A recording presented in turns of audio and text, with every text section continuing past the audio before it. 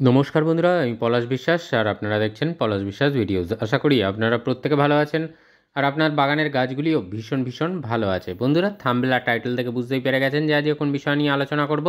আজকে আলোচনা করব এটা নিয়েই যে জবা গাছে ফুল ফোটা কখনো বন্ধ হবে না, যাদের জবা গাছে ফুল ফুটছে না, তাদের এই কেয়ারটা করার পরে আর কোনো আক্ষেপ থাকবে না বা কোনো প্রশ্ন থাকবে না যে কেন জবা গাছে ফুল আসছে না। তো আজকের এই ভিডিওটা ভীষণ ইন্টারেস্টিং হতে চলেছে। যে যে কেয়ারগুলো পরপর দেখাবো এবং বলব, সেইগুলো একদম যদি নিয়মমাফিক মেনে চলেন, আপনার জবা গাছ সম্পূর্ণ ফুলে ফুলে ভরে থাকবে। আর প্রচুর পরিমাণে ফুল আপনারা কিন্তু আপনাদের জবা গাছগুলো থেকে পাবেন। তাহলে একটুও স্কিপ না করে ভিডিওটা চলুন শুরু করি এবং কি কেয়ার করব এবং কি কীভাবে জবা গাছের পরিচর্যা গ্রহণ করব, সবটাই কিন্তু আজকের ভিডিওতে ডিটেলসে থাকছে। খালি তার আগে একটা কথাই বলে নেব, প্রতিদিন সন্ধ্যা ছটায় আমার চ্যানেলে বাগান সংক্রান্ত ভিডিও আসে। তাই বন্ধুরা, যারা এখনও চ্যানেলটি সাবস্ক্রাইব করেননি, তাদের কাছে অনুরোধ করব চ্যানেলটি সাবস্ক্রাইব করে রাখার জন্য। কারণ প্রতিদিন সন্ধ্যা ছটায় বাগান সংক্রান্ত ভিডিও দেখতে গেলে, সহজে বাগান করতে গেলে আপনাকে দেখতেই হবে পলাশ বিশ্বাস ভিডিওস বন্ধুরা যেটা বলব যে জবা গাছ সবার প্রথমে যেটা মাটি মাটিটা কিন্তু হালকা ময়েশ্চার মাটি পছন্দ করে কখনোই বেশি কাদা যাবে বা ড্রাই শুকনো মাটি এই দুটো কিন্তু পছন্দ করে না। হালকা ময়েশ্চার মেনটেন করতে হবে, এই রকম মাটি আপনাদেরকে কিন্তু তৈরি করতে হবে টবের জন্য। একটা টবের জন্য আপনারা নিয়ে নেবেন পঞ্চাশ ভাগ গার্ডেন সয়েল তিরিশ ভাগ লাল মোটা দানার বিল্ডিং কনস্ট্রাকশানের বালি, আর তার সাথে নিতে হবে কুড়ি ভাগ বা কুড়ি শতাংশ নিতে হবে কম্পোস্ট সেটা কাউডাং কম্পোস্ট হলে এক বছরের পুরনো বা ভার্মি কম্পোস্ট হলে সেটা নিতে হবে। তো এই তিনটে উপাদান ভালো করে মিশিয়ে দিতে হবে, মিশিয়ে কিন্তু আপনার মিডিয়াটা রেডি করতে হবে। তাহলে দেখবেন ময়েশ্চার মাটি থাকছে, জল, উচ্চ জল নিকাশিযুক্ত। এবার খাবার, এই খাবারটা আপনাকে দিতে হবে এক্ষুনি। মানে এই মুহূর্তে দাঁড়িয়ে যেদিনই ভিডিওটা দেখছেন, পরের দিনই দিয়ে দেবেন। এটা রয়েছে এক টেবিল চামচ পরিমাণে জি আর দানা। এটা অনুখাদ্য এর মধ্যে সতেরো রকমের অনুখাদ্য বর্তমান। এই জিয়ার দানা বায়োজাইম নামে পাওয়া যায় অনলাইনে, পেয়ে যাবেন। এটা হাফ টেবিল চামচ। এটা দেখছেন মিউরেট অফ পটাশ বা লাল পটাশ ফুল আনতে এবং ফুলের মানে যে বৃন্ত সেটাকে শক্ত করতে কিন্তু এই পটাশের ভূমিকা অনবদ্ধ বা অনস্বীকার্য। আর এইটা দেখছেন ম্যাগনেসিয়াম সালফেট বা ইপসাম সল্ট। এটা এক এক চা চামচ নিতে হবে। আর লাল পটাশ এক টেবিল চামচ। তার সাথে এক চামচ নিমখোল নেবেন। এটা দেখছেন, এটা এক বছরের পুরনো এক বছর না, তিন মাসের পুরনো সরিষার খোলের গুঁড়ো। এই সরিষার খোলের গুঁড়ো এক চামচ নিতে হবে, তিন মাসের পুরনো। ডিরেক্ট এনে দেবেন না, গাছের ক্ষতি হয়ে যাবে। আর যেটা দেখছেন, এটা পাঁচ টেবিল চামচ রয়েছে ভার্মি কম্পোস্ট। এই ভার্মি কম্পোস্টের পরিবর্তে গোবর সার এক বছরের পুরনো হলে অবশ্যই ব্যবহার করতে পারেন। এই কটা খাদ্য উপাদান আপনাকে দিতে হবে দশ দিনের ব্যবধানে। এখন পনেরো দিন নয়, দশ দিনের ব্যবধানে এটাকে দিতে হবে এবং এর সাথে সাথে আরও কি খাবার চালু করতে হবে এই নভেম্বর মাসে তাহলে যাতে প্রচুর পরিমাণে ফুল পেয়ে যাবেন, সেই জন্য এইটা বলে দেবো। যাদের গাছ একদম ফুল আসছে না গাছে, তারাই কেবলমাত্র এই খাবারটা দেবেন। যাদের কাছে কিন্তু ফুল আসছে, তারা এই নভেম্বর মাসের যে কেয়ারের ভিডিওটা দিয়েছি, ভিডিও লিস্টে গিয়ে যারা দেখেননি, চাইলে অবশ্যই কিন্তু দেখে নিতে পারেন। যাদের গাছে ফুল কুড়ি আছে, ফুল আছে তাদের গাছের জন্য এই খাবার নয়। এই খাবারটা যাদের গাছে একেবারে ফুল আসছে না বা ফুল আসলেও সেই ফুল স্টে করছে না, কুঁড়িগুলো ঝরে যাচ্ছে সব, তারা এই কেয়ারটা করবেন। তো সব কটা খাদ্য উপাদান ভীষণ ভালো করে মিক্সড করে নিতে হবে একে অপরের সাথে যাতে ভীষণ ভালোভাবে মিশে যায়।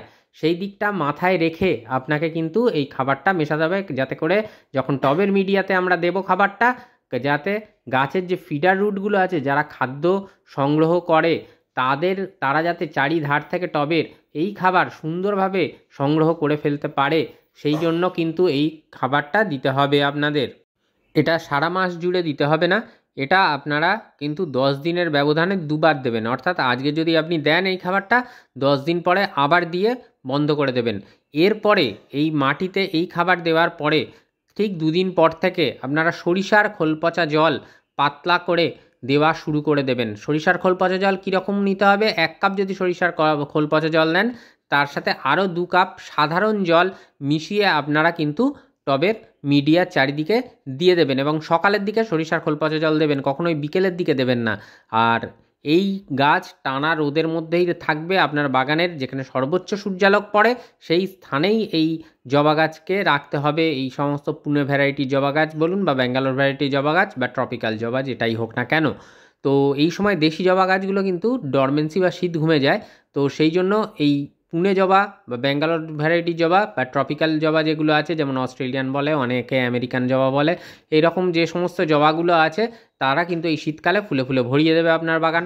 তো সেই জন্য এই সরিষার খোল পচা জলটা আপনারা চালু করবেন, ঠিক টবের মাটিতে খাবার দেওয়ার দুদিন পর থেকে এবং সপ্তাহে একবার করে এই সরিষার খোল পচা জলটা আপনাদেরকে গাছের টবের মাটিতে প্রদান করতে হবে।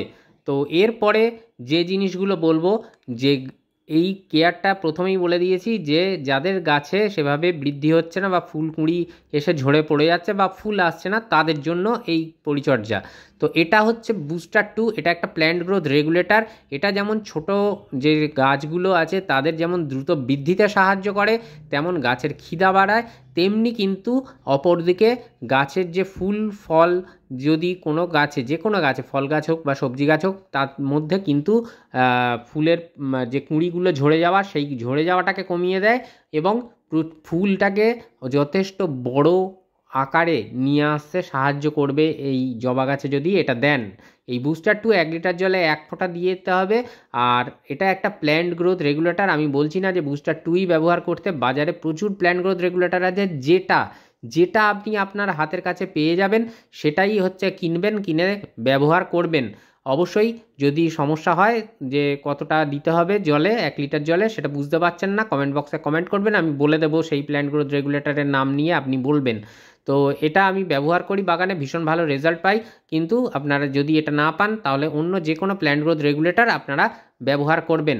আর এটা দিতে হবে দুবার, অর্থাৎ প্রথমবার মাটিতে খাবার দিলাম, সরিষার খোল পচা জল দুদিনের মাথায় যখন দিচ্ছি, তারপরে ঠিক একদিন পরে এই পিজিআরটা আমরা সকালবেলা এক লিটার জলে এক ফোঁটা নিয়ে গাছে ভালো করে স্প্রে করে দেব এবং অবশ্যই সকালে দেব। তার কারণটা সূর্য ওঠার আগে এই কাজটা আমাদের কিন্তু করে ফেলতে হবে। যাতে করে সূর্যের আলো যখন আপনার বাগানে পড়বে, তখন এটা পাতার সাথে মোটামুটি অ্যাবজর্ব হয়ে গেলে ভীষণ ভালো রেজাল্ট আপনাদের জন্য অপেক্ষা করে থাকবে জবা গাছের ক্ষেত্রে।